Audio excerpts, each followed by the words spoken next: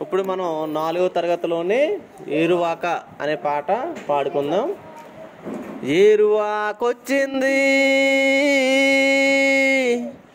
ఏరువాకమ్మా. నల్లని మబ్బులు నల్దిక్కుల పారి.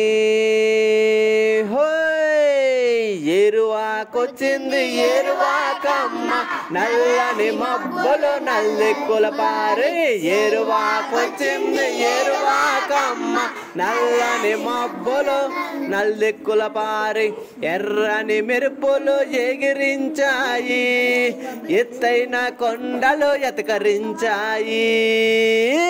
ఎర్రని మెరుపులు ఎగిరించాయి. ఎత్తైన కొండలు ఎతకరించాయి. పరిగెత్తి కోకిలా పాట పాడింది. నెమిలమ్మ మైమరిచి నాటమాడింది పరిగెత్తి కోకిలా పాట పాడింది. నెమిలమ్మ మైమరిచి నాటమాడింది ఎరువాకొచ్చింది ఎరువాకమ్మ నల్లని మబ్బులు నల్లెక్కుల పారే ఎరువాకొచ్చింది ఎరువాకమ్మ నల్లెక్కుల మబ్బులు నల్లెక్కుల పారి ఎరువాకొచ్చింది ఎరువాకమ్మ జనమందరూ వేగ కూడి రావాలి ఎరువాకొచ్చింది కాకమ్మ జనమందరూ వేగా కూడి రావాలి. గాదెల్లో విత్తనాలు గట్టిగా తేవాలి. గంపల్లో విత్తనాలు దండిగా తేవాలి. గాదెల్లో విత్తనాలు గట్టిగా తేవాలి. గంపల్లో విత్తనాలు దండిగా తేవాలి. ఎరువాకొచ్చింది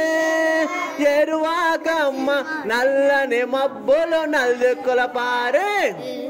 వచ్చింది నల్లని మబ్బులు నలుదిక్కుల పారే. మృగశిరా చిందించే ముసలెద్దు రంకేసే దుక్కుటెద్దులు తెచ్చి అరక గట్టాలే మృగశిరా చిందించే ముసలెద్దు రంకేసే దుక్కుటెద్దులు తెచ్చి ఎరకగట్టాలి దున్నిన చేలన్నీ మిన్నగా పండాలి. ఒక్క గింజకు కోటి గింజలవ్వాలి. దున్నిన చేలన్నీ మిన్నగా పండాలి. ఒక్క గింజకు కోటి గింజలవ్వాలి. ఏరువాకొచ్చింది ఏరువాకమ్మ. నల్లని మబ్బులు నల్లెక్కలు పారే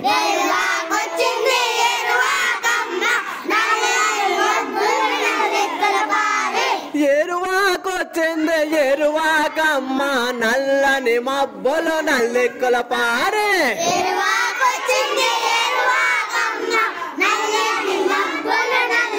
పారే. ఎరువాకొచ్చింది.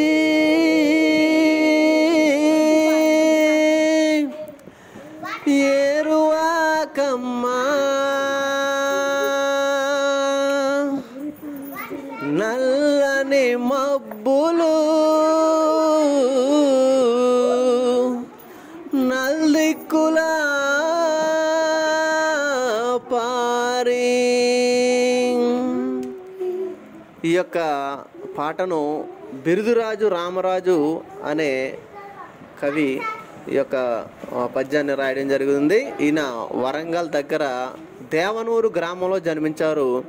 తెలుగు జానపద గేయ సాహిత్యంపై మొట్టమొదటిగా పరిశోధన చేశారు. వీరి రచనలు తెలుగు జానపద రామాయణం తెలుగు సాహిత్యోద్ధారకులు మొదలైనవి. ఓకే ధన్యవాదాలు.